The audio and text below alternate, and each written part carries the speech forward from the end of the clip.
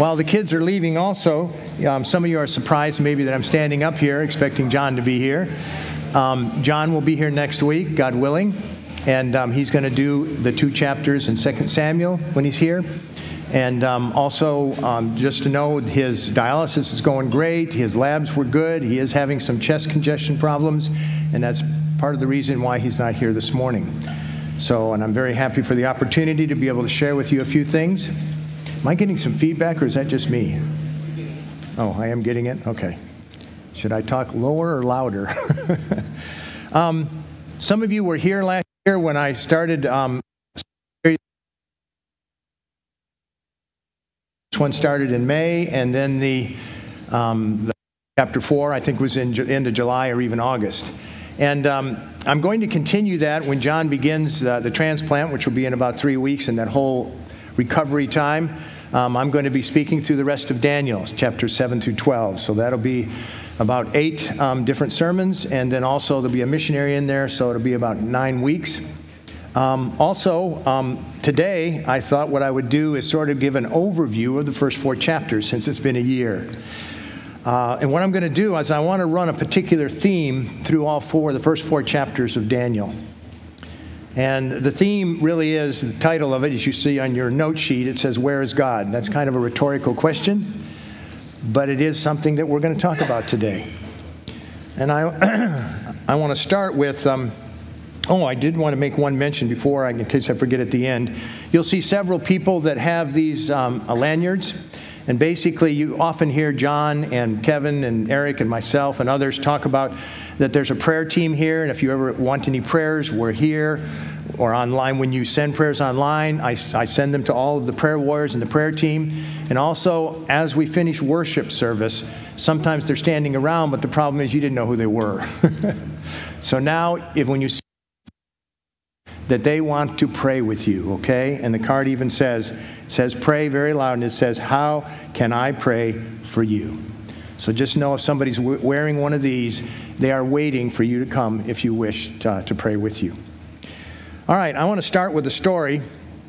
And um, this, uh, going to take a journey with me. We're going to start with a story and then the journey through the first four chapters. And it'll be more in a story format, reading some of the scriptures, because obviously I'm not going to cover all four. I did that last year in great detail. So it'll be this theme of where is God. But I'm going to start with a story. On June the 9th, 1972, um, there was a flood. And uh, believe it or not, it was the. Uh, the flood lost more lives uh, in that flood. America lost more lives in that flood than any other in the history of the United States, and I'll bet 95% of you never even heard of it. It's not Katrina, it's the Rapid City flood, June the 9th, 1972.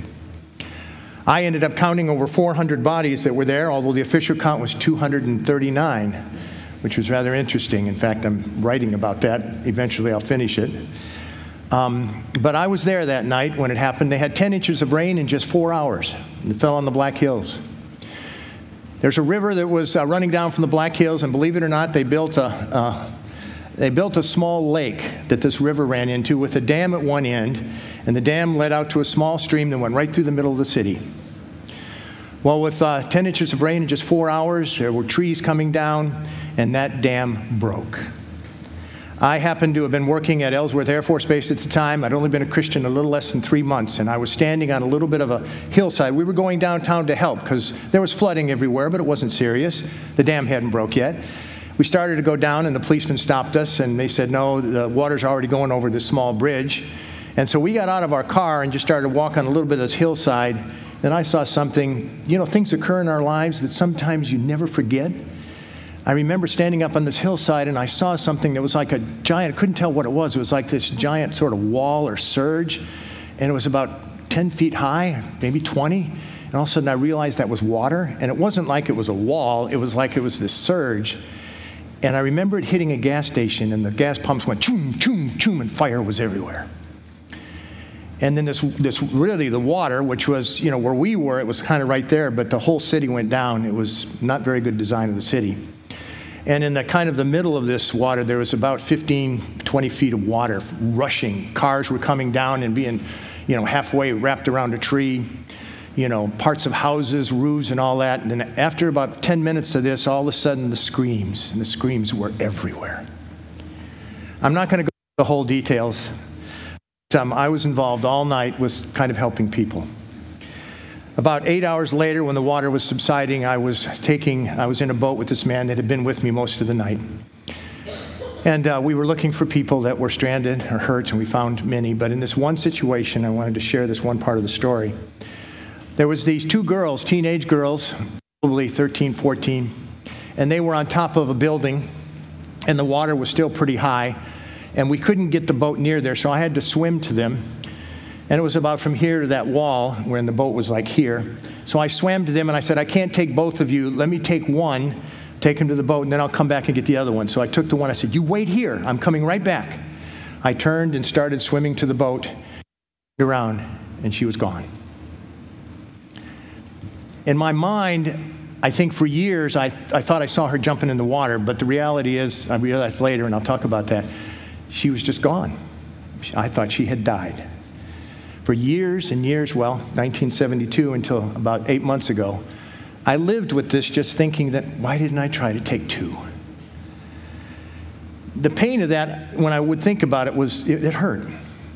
When I was in, uh, in Pioneer Bible Translators, we went through some training and we called it um, healing prayer. And that is where not just one person prays, but where there's a group of two or three people that pray with someone. And we were talking about how to do, uh, go into prayer even in a deeper way. And as we were doing that, um, it was my turn to be prayed for, and I was asking her, whether there's anything in your past, you know, that still is, is a little bit of trauma, a little bit of struggle. And there were a couple events. One involved my mother, but this one was a big one also. And so I mentioned that. And I'm not going to go into too much detail, and just the fact that we went into deep prayer, and this one that was kind of leading it with the other two that were there, he said, Explain to me exactly what was going on. So I told him what I just told you. And he said, you turned around and looked and you didn't see the girl. Can you see Jesus anywhere around you at that time? I was like, what a weird thing to say. What do you mean? I, I don't see any. No, seriously, think about it. You've been a Christian only a couple of months. Can you feel that the presence of Jesus was there? And it's hard to explain, but when he said that, it was like overwhelmingly, I felt the presence of Jesus. And um, I kind of turned in as we're praying and talking about this, and then I realized it hit me like a ton of bricks. Eh, Jesus I didn't hear any words, but Jesus very clearly said to me, She did not die. I cannot tell you what a relief that was. I mean, it's like this whole giant burden. I don't know where she went, went, but she did not die. As I was preparing for this, where is God? He is everywhere we fail to recognize it. No matter where we are, no matter where we turn, no matter what we're involved with, whether it's good times or bad, He's there. God is here right now. Not only is He here, He's given us the Holy Spirit that is inside of us. So I want to talk about that theme, and I pray that I don't go too much over, in terms of the first four chapters of Daniel. Because whether it was with Nebuchadnezzar, Shadrach, Meshach, and Abednego, or Daniel himself, God was in the culture, in the environment. God is in our, our, our dreams. God is around us with various things, and He's in our troubles. God is in our faith, and God is in our sin. He's in the midst of everything that we do. So, looking at Daniel, and some of you who were here last year will remember some of these things. I'm going to do it more as a storyline, but let's start with Joseph, believe it or not. If you remember, Joseph was um, obviously taken by his brothers and sold into slavery. And eventually he made his way, as you remember, to Egypt and earned um, a very strong through a whole lot of things, if you remember the story of Joseph. And he became a very um, strong leader in the whole country of Egypt to the point where he was in charge of all the grain. And if you remember then from the story of Joseph and his brothers, um, basically Joseph was able to feed them, and all of Egypt basically then now was filled with the Israelis, the Jews. And after about um, 400 years of being in Egypt and eventually being slaves, um, the, uh, the Jewish nation was crying out to the Lord. And of course, as we know, the Lord sent Moses. And Moses led them um, out of Egypt and into the promised land.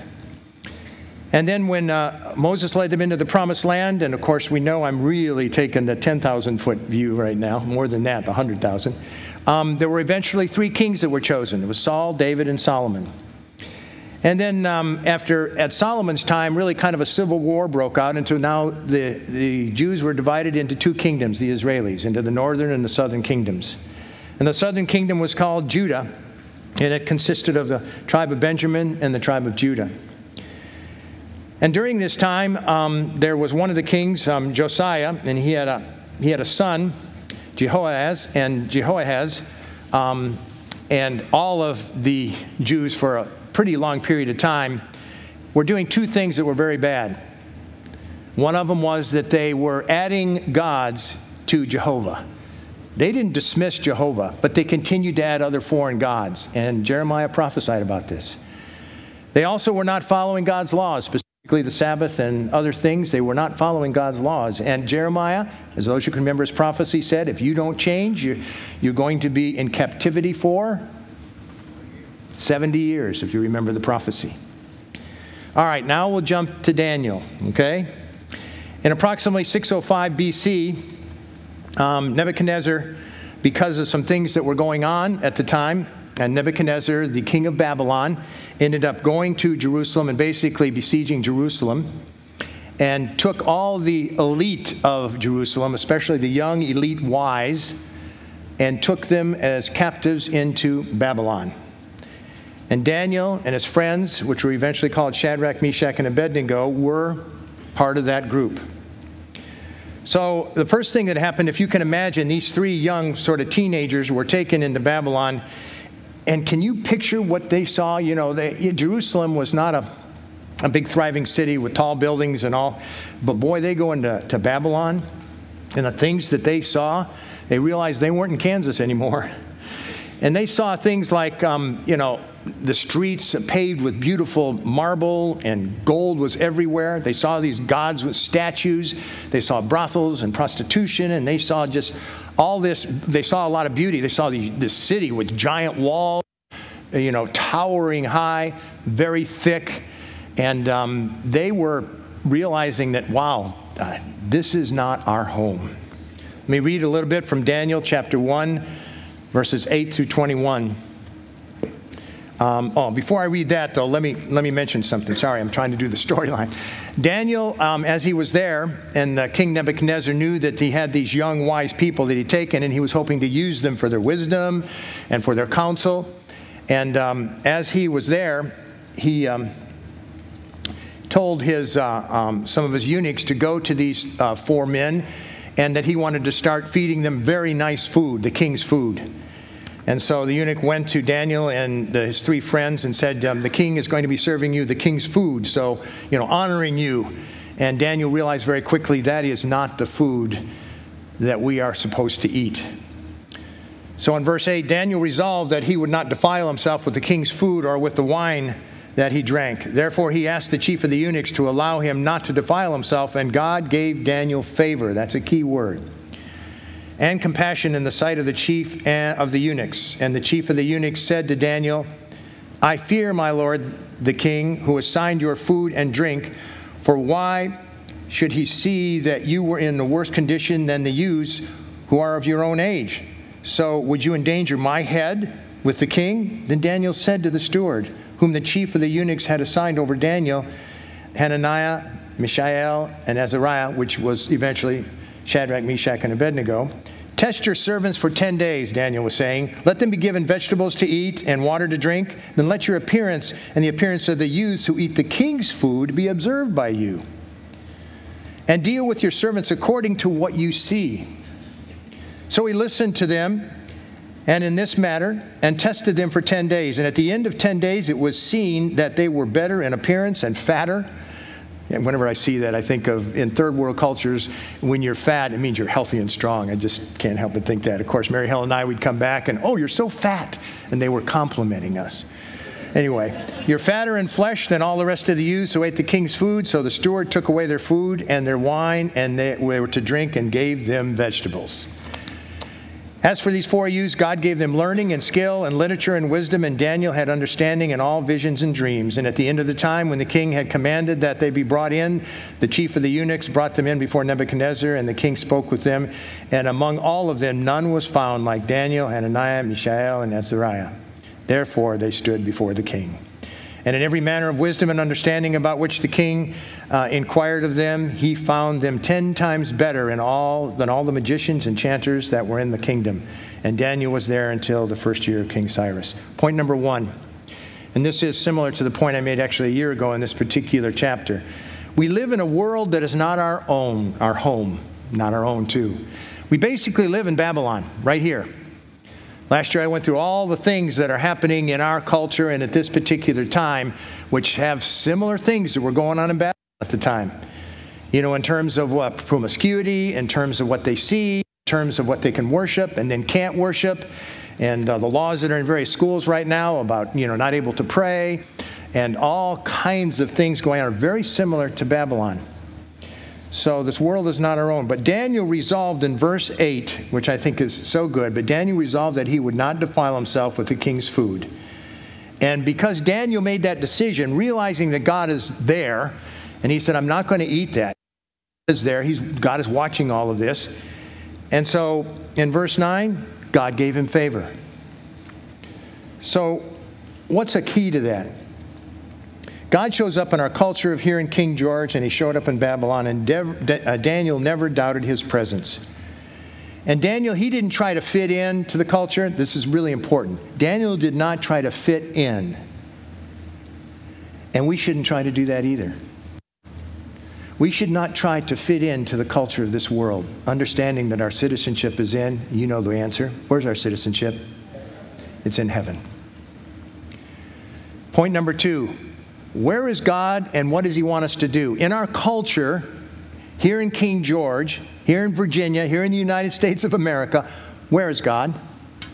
And if we recognize that He's here and He's with us, and He's in the midst of us, He's in the midst of our culture, then what do we, what is, not what do I want God to do, but the key to that, and Daniel said that, what does God want me to do? How can I serve Him?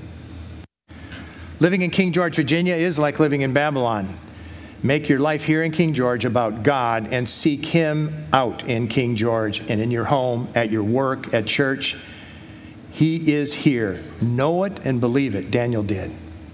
Point number three when we decide for God, really related to point number two, He will decide for us. When we decide for God, He will decide for us. That doesn't mean He's going to answer all of our prayers exactly the way we want it to happen. But it does mean that in deciding for us, He will be with us no matter what's going on, no matter how serious it is. We may end up in, in jail because we're defying something in our culture. But God will be with us, and He has a purpose. And you've heard this kind of story before, and maybe it's to, for you to share the gospel with people in jail. We have somebody even in this church right here that actually happened. And you can actually serve God no matter where you are, realizing that He's present in everything that we do. Point number four make your culture, your home, your church, your work, and everything you do about God, not about you. Listen to that again. Make your home or your culture, and I almost would rather substitute culture, make your culture about God, not about you. He's sovereign. Make it about Him. Not the kind of, so often, yes, we, most of us would say, yeah, we believe God is all around us and He's with us, but a lot of times we want, we have expectations of what that means. We want God to, to be a certain way or to act in a certain way. That's very dangerous. Let it be about God, because that then is about you. It's about you wanting control. And if God doesn't answer your expectation the way He should, then you think, what? He's not there. But He is. Who is that hero in chapter 1? Think about that for a minute. Who's the hero of chapter 1? Yeah, somebody said it. Say it nice and loud. God, God is the hero of chapter 1, not Daniel. Not Nebuchadnezzar when he finally realized his power of this Almighty God, Jehovah. God is the hero of chapter 1. See how all throughout this entire chapter. Yes, this is about Daniel's uncompromising faith. We don't deny that. There's a lot of lessons there about Daniel's faith. But that faith is based solely on depending on God for his providence, not just Daniel's faith. God's control, sovereignty, and love cultivated Daniel's faith. So it was about God, and that is what cultivated Daniel's faith. As Daniel and his friends were considered now as wise, the wise men of Babylon, and uh, the king Nebuchadnezzar really kind of recognized them as something special. And then at the end of the time, when the king had commanded uh, that they should be brought into the chief eunuchs and brought them before Nebuchadnezzar, the king spoke with them, and among all of them, none was found like Daniel, Hananiah, Mishael, and Azariah. So he really honored them. Then, about three years after, and it's interesting, this is something I don't think I shared with last year, that when uh, the culture of Babylon at the time, when they would go and conquer these various areas of the world and they would take in some of the sharpest and smartest to join in with the Babylonian culture to help them advise and, and interpret things and so on, they usually went through three years of training. So Daniel, Shadrach, and Meshach, uh, Daniel, Shadrach, Shadrach, Meshach, and Abednego, and Daniel were all in the middle of this three years of training um, to become, which is required for astrologers and enchanters and so on. And then, in the midst of this training, or towards the end of it probably, Daniel received a message from Arioch, the captain of the king's guard, and he and his friends were to be put to death. And Daniel's like, oh, what's going on? What do you mean? I'm in the middle, we're at the end of our training, we're, we're here, we're ready to serve, and now you're coming saying we're going to be put to death? So Daniel asked why. And Arioch explained that the king had a dream. You might remember this. King had a dream. So he asked the enchanters, but for some reason, these three youths that were still kind of at the end of their training, they weren't part of it, okay? But he asked all of the wise men and astrologers and enchanters, you know, I had a dream and I want you to interpret it. And they said, tell us the dream and we'll interpret it. And he said, No. If you are truly wise men and enchanters and astrologers, you can tell me what I dreamed. Then you can interpret it. And of course, the response was, No one can do that. But then Nebuchadnezzar said, If you can't, then all of you in the whole, all of Babylon, all the wise men, the enchanters, the astrologers will all be put to death. So now he sent out his emissary to begin that process, and he came to Daniel. And then when he came to Daniel, um, Daniel was obviously surprised, beginning in verse 16. Daniel went into the king, and he, when he heard this, and he asked for more time so that he might interpret the dream for him. It's kind of pretty confident of Daniel, and I imagine, I imagine Nebuchadnezzar thought, wow, that's pretty confident of a 17 or 20 year old young man. He thinks he can interpret if I'll give him just a little more time. All right. Nebuchadnezzar says, We're going to see if you can truly say what my dream was. Then Daniel returned to his house and explained the matter to his friends. He urged them to plead for mercy from the God of heaven concerning this mystery, so that he and his friends might be not be executed with the rest of the wise men of Babylon. During the night, the mystery was revealed to Daniel in a vision. Then Daniel praised God in heaven. Point number five God is in the midst of our problems, no matter how great or how small. He is there. So turn to Him for strength, not your strength, not how you are going to solve the problem. Turn to God. And Daniel's confidence in just praying to God, realizing and understanding that Daniel just like we're going to see you in the next chapter, Daniel, like his three friends, even if God did not answer it like Daniel was hoping he would, Daniel would not, I don't believe, have lost his faith. But look, look at Philippians chapter 2, verse 13. It is God who works in you to will and to act in order to fulfill his good purpose. God has a purpose for everything, even if he doesn't answer our prayers in the way that we would like him to answer. And in Proverbs 3 5 and 6, trust in the Lord with all your heart and do not lean on your own understanding, and in all your ways acknowledge him. And that's what Daniel did. He did not lean on his own understanding. The first thing he did was he went to his friends and to God. So I want to offer you, and I did this kind of last year a little bit, that there are, um, point number six, there are steps to solving a problem specifically what steps did Daniel use? The first step that he used is first he wanted to know what is the problem. He recognized and defined the problem, and he realized that if we don't solve this problem, it's going to lead to death. All right, it's all there. Then, number two, Daniel didn't panic. This is a big thing. You know, my goodness, if someone would come to you and says, you know what, I want you to help me solve this problem, and if you can't solve it, you're going to be killed. It'd be like, uh, uh, uh, hold on, let me run away. You know, and I would imagine, uh, you know, but Daniel, you don't have to see anything about that. Daniel didn't think about, you know, the fight or flight kind of reaction. You know, how would have you felt? If you can't solve this problem, you're going to die. You just want to get out of there. Would you have turned to God? I don't care what the problem is. Would you have turned to God? Or would your panic been so high that you wouldn't have even hardly been able to think? Daniel did not panic. He had confidence that God was there in the middle of that problem in that situation. He accepted that God was there over and over. That's the lesson that we hear in these first four chapters. Recognizing God's presence is only the first step. Then the next step is you go to God. You go to God. And more than just um, simply, okay, and this going to God, this is important many of us go through kind of those first couple of steps. It may not be a problem unto death, but we'll go through those things and we will go to God and we'll pray. And then we say, you know, after we do a lot of prayer, we say, Oh, I heard God tell me. Have you ever heard that? I heard God tell me. I'm not saying that that's wrong. Uh, part of that's very, very good. But I think this next step is kind of crucial with that.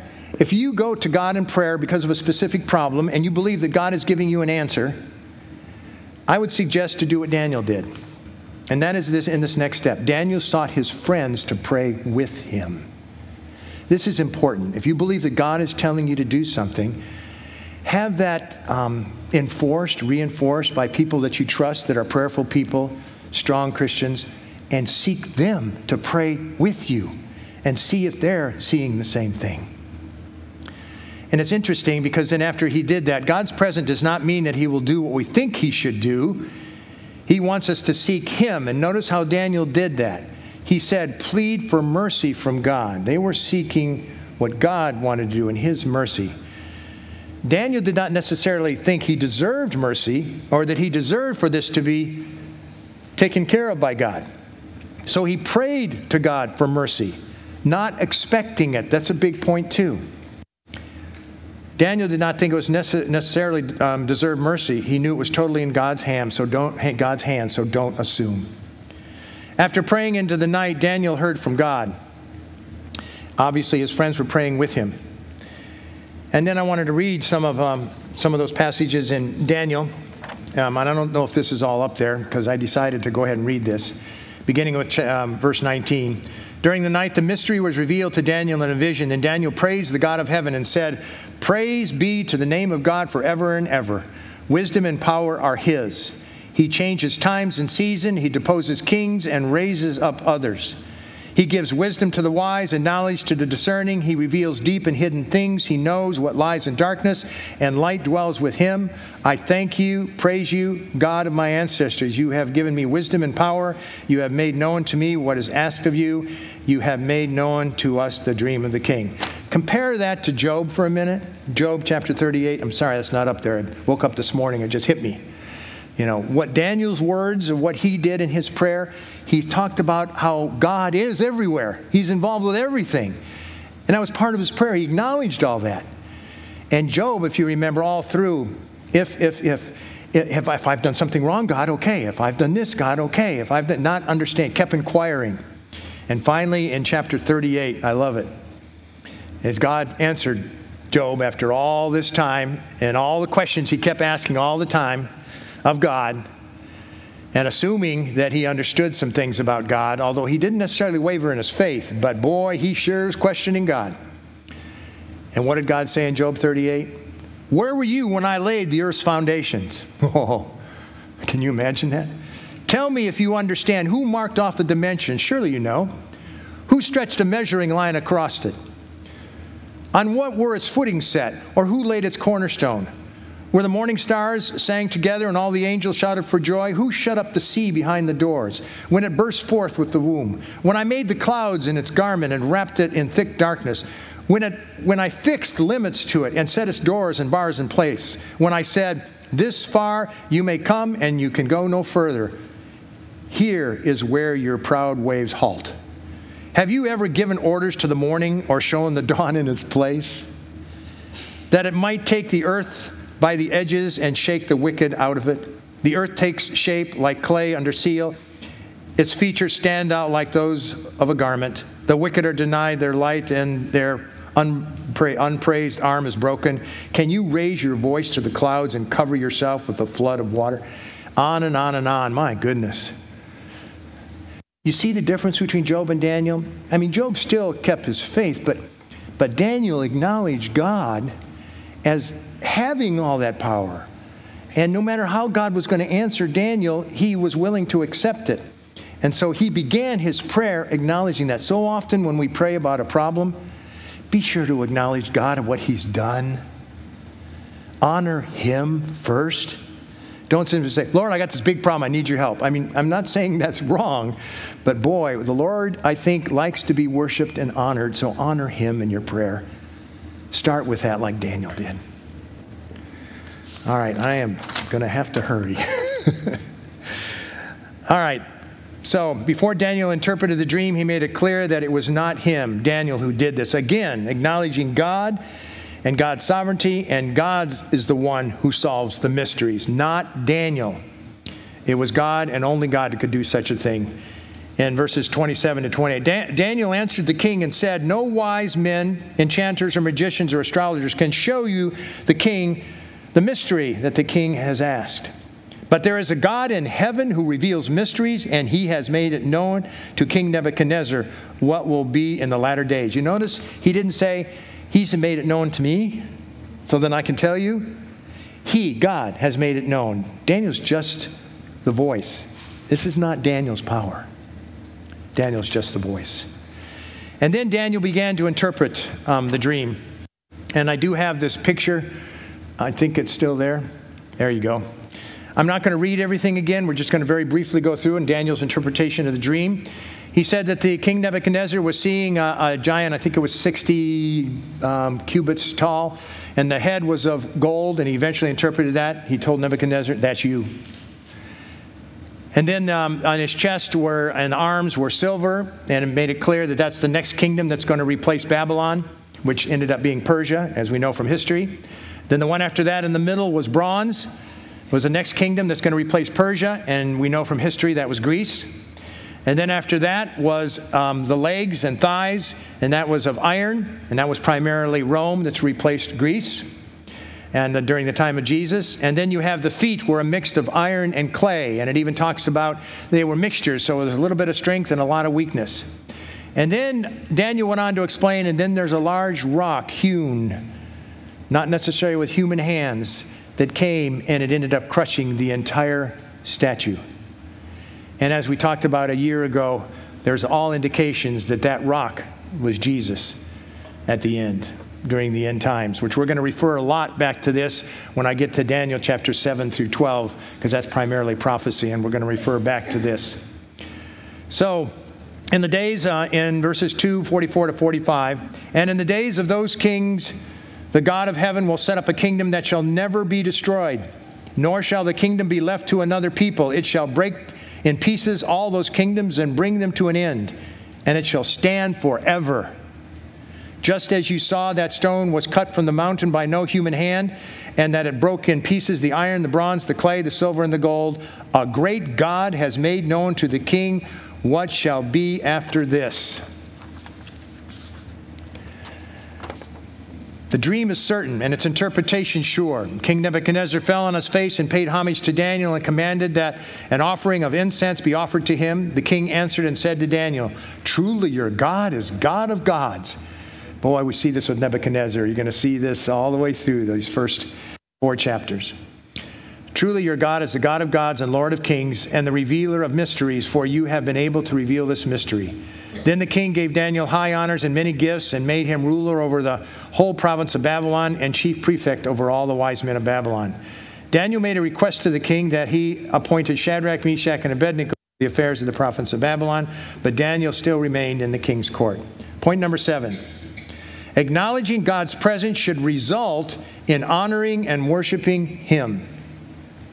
And that's what Daniel did at the end of this. I didn't read all those verses, but basically, after this was answered and all the way through it, Daniel, the result of acknowledging God in the midst of these, acknowledging God's presence, should result in our honoring and worshiping Him as we see God act in our lives.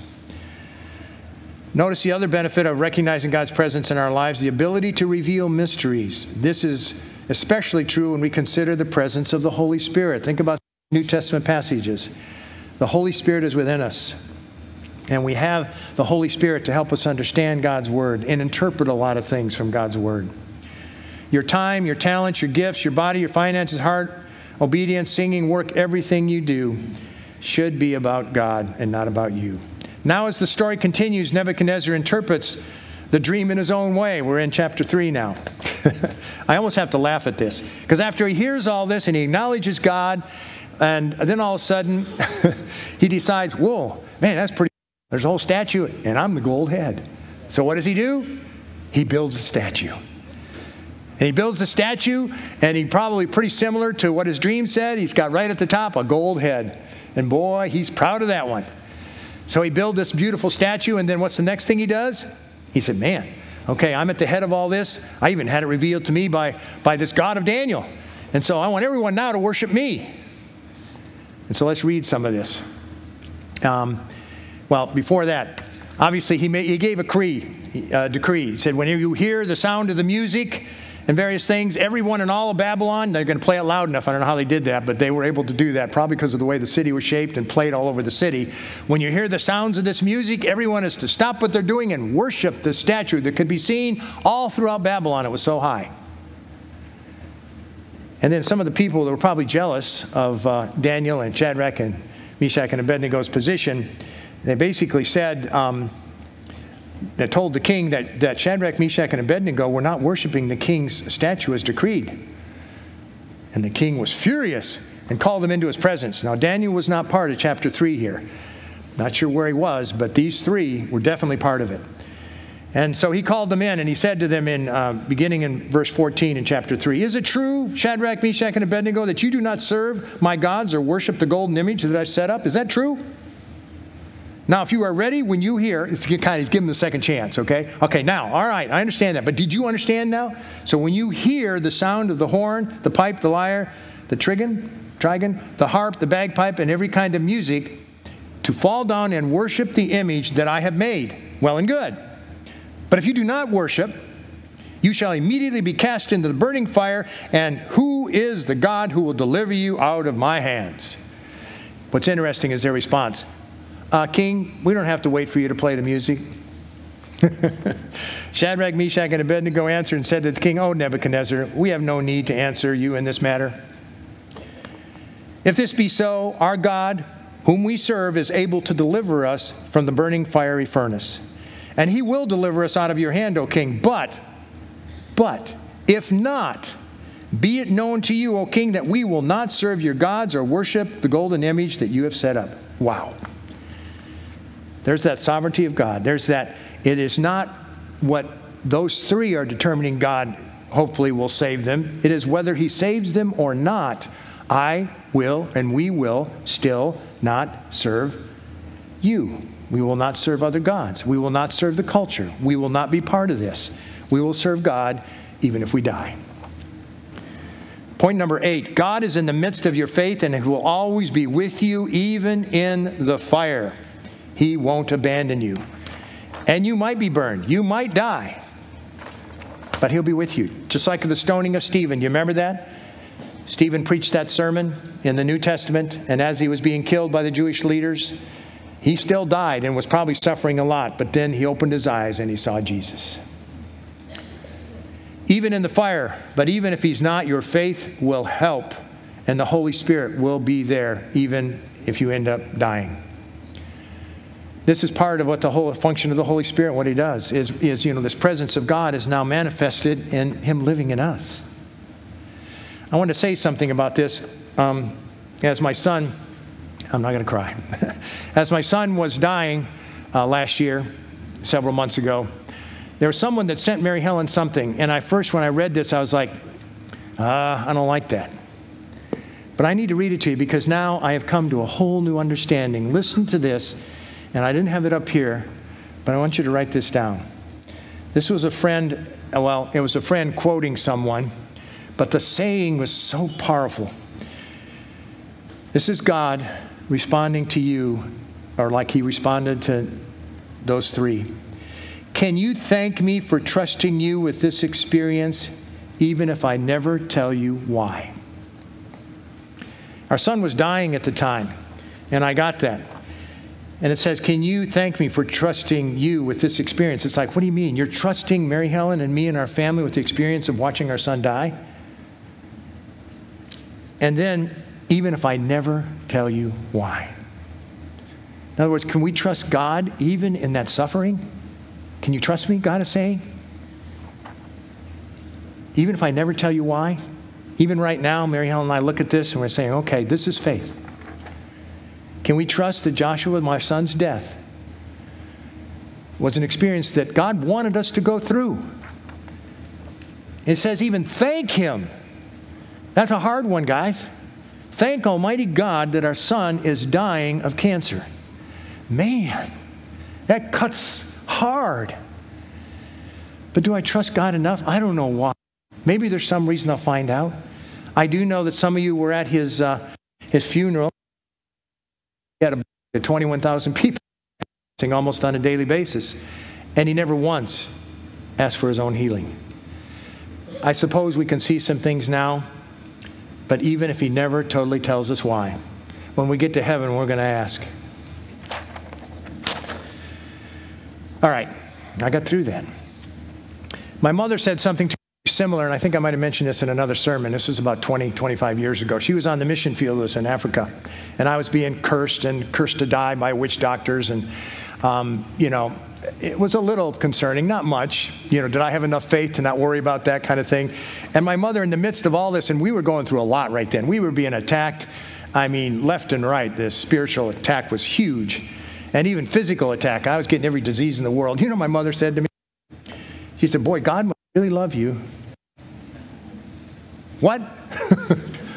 Mom, you know, I've gotten five diseases. I've had malaria 12 times, typhoid three times, cholera twice, two amoebic liver cysts, bilharzia, and on and on and on. And now to die. And I'm going out. We got our cars breaking down. It's been stolen six times. And my mother says, "Wow, you." I think I. We learn through our suffering. God is there. He's with us. And no matter what it is he's trying to teach you, listen. Listen. As the story progresses to Daniel chapter 4, we see Nebuchadnezzar actually honoring God. This is very interesting, this chapter, because it begins with Nebuchadnezzar honoring God. He, he honors God and says how wonderful God is and all these kinds of things. And, you know, he's, uh, he's learned, it looks like, you know. And then all of a sudden, he has a dream. It's a very disturbing dream. It's about a big tree. And so um, he doesn't know how to really interpret the dream. So he eventually calls Daniel. And in beginning in verse 20 in chapter 4, let's read this. The tree you saw, which grew and became strong, so that its top reached to heaven, and it was visible to the end of the whole earth. Those leaves were beautiful and its fruit abundant and in which the food was for all, under which the beasts of the field found shade, and in whose branches the birds of the heavens lived. It is you. He's probably thinking, oh, that's a good part of the dream. You, O king, who have grown and become strong, your greatness has grown and reaches to the heavens, and your dominion to the ends of the earth. And because the king saw a watcher, a holy one, coming down from heaven and saying, Chop down the tree and destroy it, but leave the stump of its roots in the earth bound with a band of iron and bronze in the tender grass of the field, and let him be wet with the dew of heaven, and let his portion be with the beasts of the field till seven periods of time pass over him. This is the interpretation, O king. It is a decree of the Most High which has come upon my Lord the king that you shall be driven out from among men, and your dwelling shall be with the beasts of the field. You shall be made to eat grass like an ox, and you shall be wet with the dew of heaven, and seven periods of time will pass over you till you know that the Most High rules the kingdom of men and gives it to whom he will. This has nothing to do with you, O king. And as it was commanded to leave the stump of the root of the tree, your kingdom, shall be confirmed for you from a time, the time you have know, that you know that heaven rules. Therefore, O king, let my counsel be acceptable to you. Break off your sins by practicing righteousness, and your iniquities by showing mercy to the oppressed, that there may perhaps be a lengthening of your prosperity. So that's going to happen to him until he recognizes that God is God. Twelve months passed. Twelve months. And he really did become like an animal, if you remember that. Eating grass, fingernails growing long, hair, I'm sure, all scraggly, crawling on the ground. His mind was gone. Is it not this great Babylon which I have built by my mighty power as a royal residence for the glory of my majesty? While the words are still in his mouth, there fell a voice from heaven, O King Nebuchadnezzar, to you it is spoken, the kingdom has left you and departed from you. Just as Daniel prophesied, the king became like an animal, beginning with verse 34. At the end of the days, finally, after seven years, that was the seven periods of time, at the end of the days, Nebuchadnezzar finally realized I, Nebuchadnezzar, lifted my eyes to heaven and my reason returned to me. He finally was beginning to recognize this has never been about me, it's been about God. And I blessed the Most High and praised and honored him who lives forever. For his kingdom is the everlasting dominion, and his kingdom endures from generation to generation. Whether it's Daniel, Shadrach, Meshach, and Abednego, or even Nebuchadnezzar, when you realize that God has answered your prayers, it should reflect worship, honoring him. Don't forget that. When God has taken you through the fire and maybe you didn't die, at the end of that, honor him, worship him, thank him even Nebuchadnezzar did that. The host of heaven among the inhabitants of the earth, and none can stay his hand or say, What have you done? At the same time, my reason returned to me, and for the glory of my kingdom, my majesty and splendor returned to me. Point number nine God sees our sins and is always ready to forgive us. Even what Nebuchadnezzar did, he can forgive us if we turn to him. Philippians 1 18 to 24. Paul understood and accepted God's presence in his life to the point where he, Paul, longed to die and be with God. That does not come immediately, but only after he suffered so much. Can you imagine Paul in Philippians when he talks about, it would be better for me if I died than to continue living? I can die and be with the Lord. But if it's the Lord's will, then I'll stay here. Paul also recognized God's presence everywhere and everything and every problem. I want to read a couple things at the end. Yeah, the worship team can come up.